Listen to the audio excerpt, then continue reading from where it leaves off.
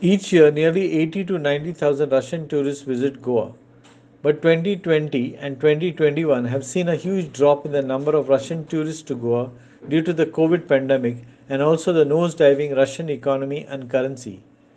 This year, tour operators in Goa are hoping for a revival.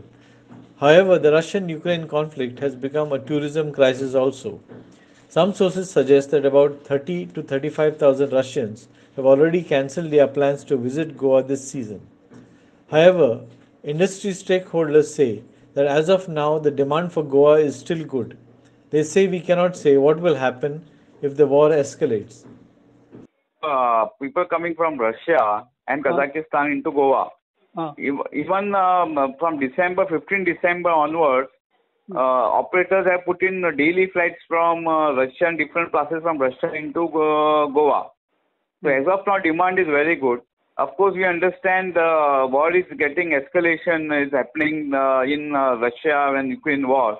So um, uh, we cannot say what will happen next. But as of now, it looks uh, the demand is good for Goa.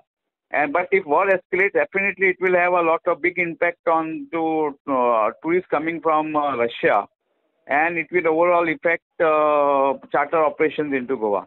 But as of now, the situation is uh, quite uh, good as far as uh, Russian arrivals are concerned in Goa. But we don't know what will happen tomorrow with looking into the war situation which is prevailing right now. Freddy Fernandez and Devin Gaonkar for Herald TV.